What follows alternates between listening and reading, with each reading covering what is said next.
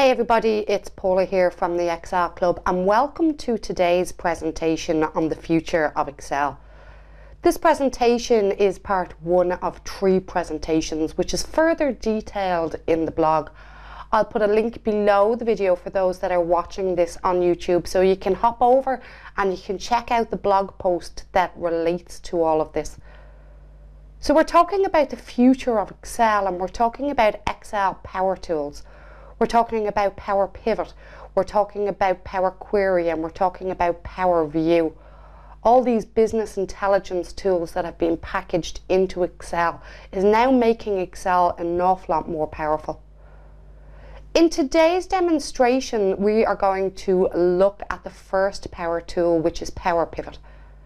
This was introduced in 2010 as an add-in. So if you're using Excel 2010, you're going to need to head over to the Microsoft website and download it.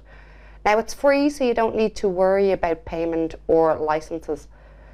In later versions of Excel, it's part of the standard package. Now in this demonstration, we're going to look at creating a standard pivot table. When you create standard pivot tables, it's often necessary to perform several lookups to pull data from other tables into the one table. Now, this can be very heavy on resources, especially if you have large sets of data. So it's basically a limitation of standard pivot tables. Now I know we all think pivot tables are awesome, but there are limitations.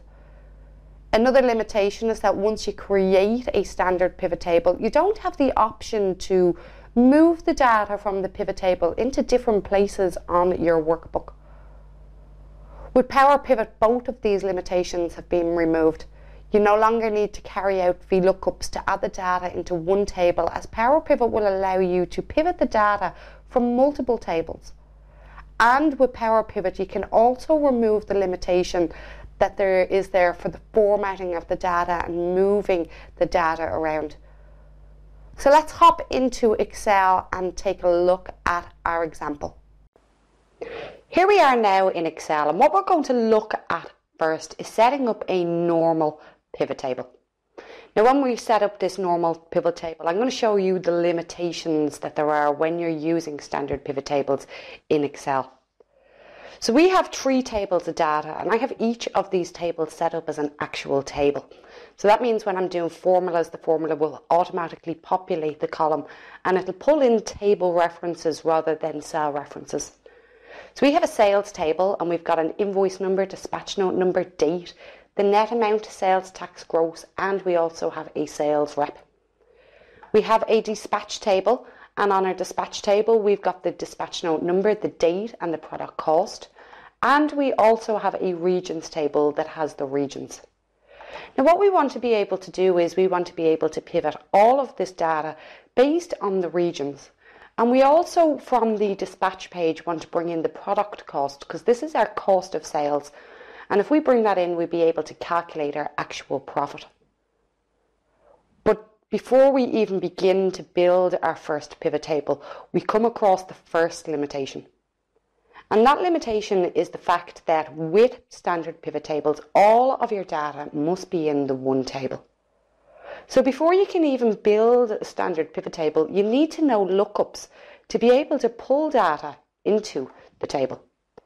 Let's have a look at pulling in some data. So we put in our lookup formula and we're going to look up our sales rep. We're going to look it up in our regions table. And then we're going to select column number two and we are going to take an exact match. Now, because I have this set up as a table, the entire column automatically updated. So I can now call this region, if I can spell.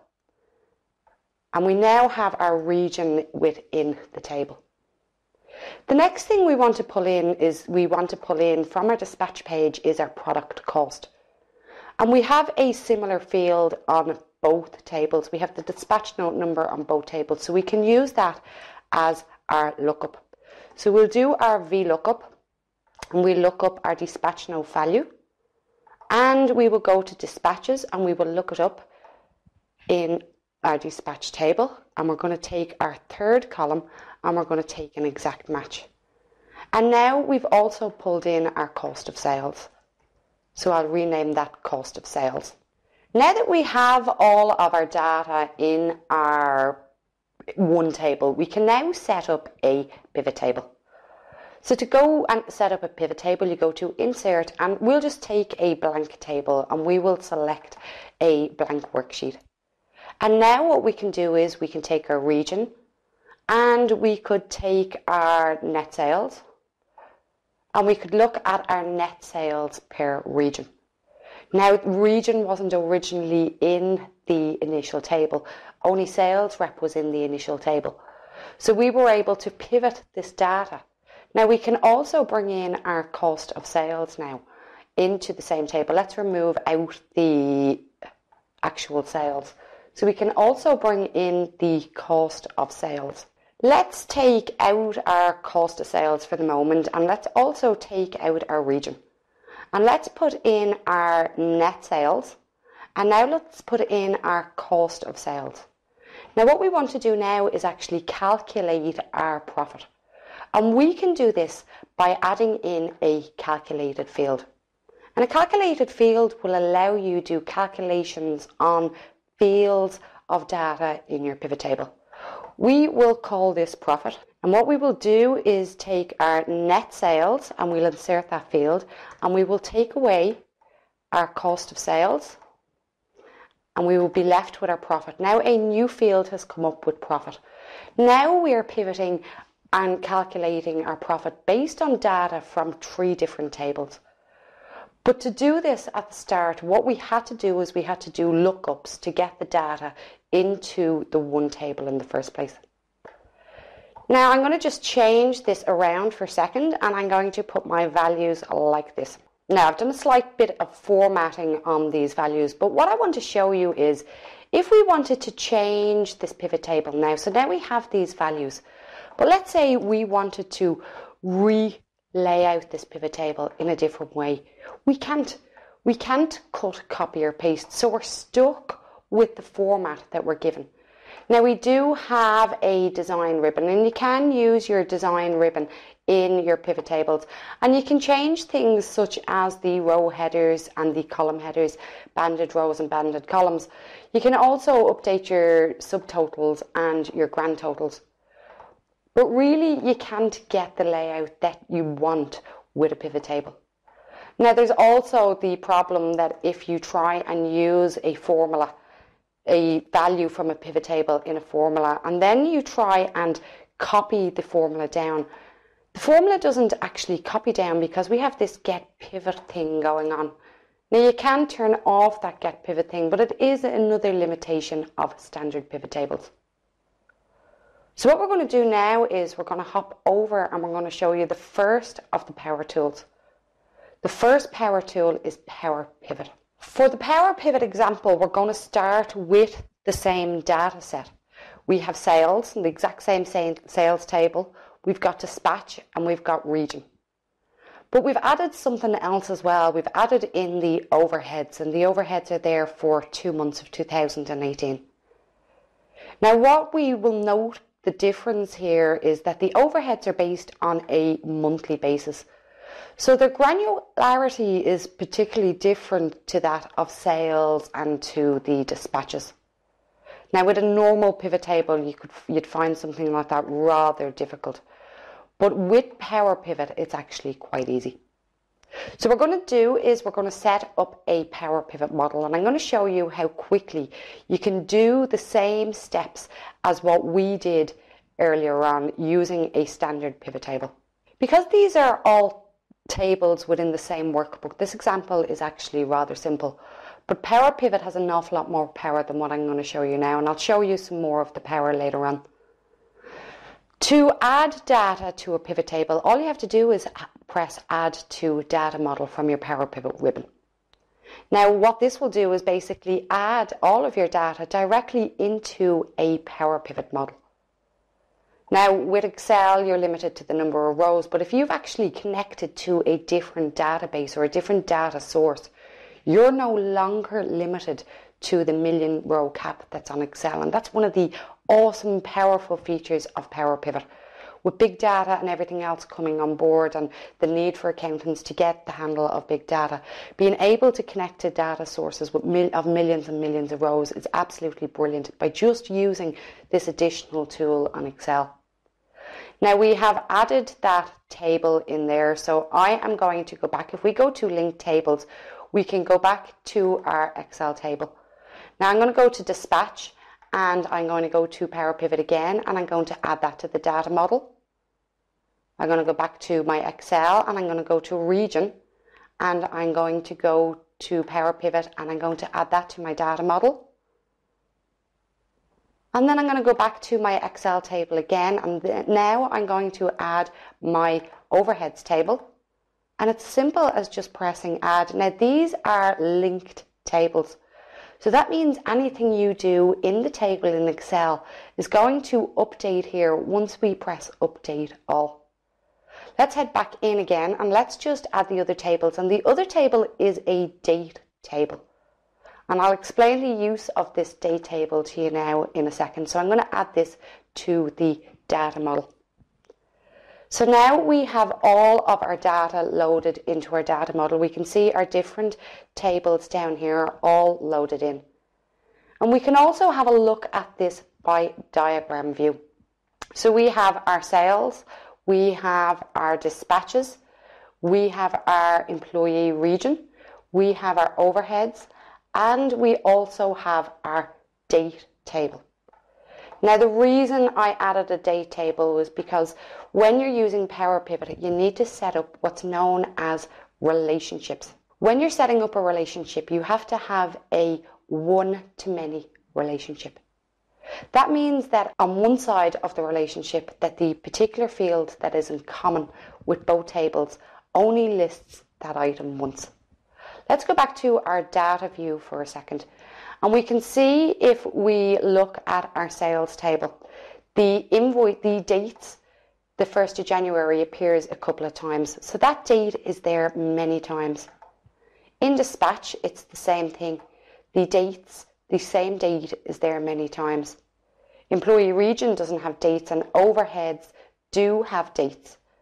But these have monthly dates and it is again many dates. So what we need is a table that will bridge these together and we can bridge these to that together by creating a date table where each date is only there once. Let's go back to my diagram view now. And now we can set up a relationship between the dates by just dragging the date field to the date field. So I'm connecting my date fields together. Now we still have one table that is not connected. And the table that's not connected is our employee table. I'm going to move it up here for better visibility. Move this one down so we can see the flow. Now, the sales rep in this case is listed once, whereas the sales rep in the sales table is listed many times. So again, we have a one to many relationship. So now that we have all of these tables linked together, now we can just go ahead and we can start pivoting our, our data. So we can insert a pivot table on a new worksheet. And the blank table, the canvas looks exactly the same. But the difference is now over here in your pivot table fields, you have all of the tables of data available to you. So if we open up the date, you can see each column that was in the date table, the dispatch, each column that was in the dispatch table, the employee region, each table that was in the region, and the overheads and as well for the sales. Now what we could do is we could take the sales rep down here and we could take the region over here and we could take our net sales and put them into our values. And very quickly we have pivoted all of this data against each other. We quickly hop back now to our Power Pivot view and I want to show you some stuff here in the Power Pivot view. Now we can do calculations in here and the calculations are known as DAX calculations, data analysis expressions. But they're basically based on Excel functions. So if you know Excel functions, you're going to be able to get the hang of DAX very easily. The only difference between DAX and Excel is that these calculations work on columns rather than working on cell references. So they're columns or subsets of columns of data. Now we seen earlier when we made the basic pivot table that we set up a calculated field. You don't need to set up calculated fields in Power Pivot because you can do calculations within the Power Pivot model. So let's just take the sum of the, we are in the sales table and we want to take the sum of the net sales. This will now give us the net, the total net sales. Let's retitle this make this a little bit bigger so you can actually see it. And I will format it while we're here so I don't have to format it while I'm in the pivot table. Now let's go over to dispatch for the moment and let's do exactly the same in dispatch. Let's sum the dispatch product cost and we will call this total cost of sales or just cost of sales. And now we can do our calculation to get our profit and that would be our total net sales minus our cost and we can then rename that to profit. Now let's insert a pivot table and we'll insert it on a new worksheet. And we have our calculations in and we have our net sales. So I'm going to take go to our sales and we're going to take our total net sales. I am going to go to our dispatches and I'm going to take my cost to sales. I'm just going to pop my values down this way so they're laid out and I'm going to put my profit in. Now what we didn't do in our standard pivot table and we didn't have the ability to add in our overheads. So I'm going to add our overheads amount in now. Now the thing with a pivot table created in Power Pivot is the first limitation we've already seen and we've removed the fact that you need to have all of the data in the one table. We've also looked there slightly at the granularity and by doing this we're able to bring in data from different granularities as well. But we also seen that if we try to copy and paste part of a pivot table that we weren't able to do it and we're still not able to do it until we go to our pivot table tools and in our pivot table tools, if we go to OLAP tools and we say convert to formulas, now that we have converted to formulas, we can take all of these values and we can lay them out the way we want to lay them out. So we have our total sales, our cost of sales, which gives us our profit, and we can put our line under there. We can then take our overheads, place them here, which gives us our net profit and we can add in our own calculations to the table. But the thing with this is, this is actually still connected to your data model. So now if you update your data model with new data, this is automatically going to update as well. So that's the second limitation of using uh, basic pivot tables that's solved by using Power Pivot. So that's our first demonstration on the future of Excel and the use of Power Pivot. Now Power Pivot has an awful lot more features and you can do an awful lot more with it in terms of data modelling and analysis to what I've just shown you there. Because that was just an introduction. Next week we're going to move on to the second demonstration and we're going to learn how you can quickly create a template that will allow you to combine files within a folder. This is a real VBA killer and once you do it once you'll have a template that you just need to update when you get a new file. And in our third demonstration then we're going to have a look at Power View for visualizations and analysing your data, exploring your data further through visualizations. If you're watching this video on YouTube, don't forget to like and subscribe to my channel. And do head over to the blog, there's a link below the post because there's an awful lot more detail than what we covered in this video available in the blog post, along with the second and third demonstrations of Excel Power Tools. Thanks for watching, goodbye now.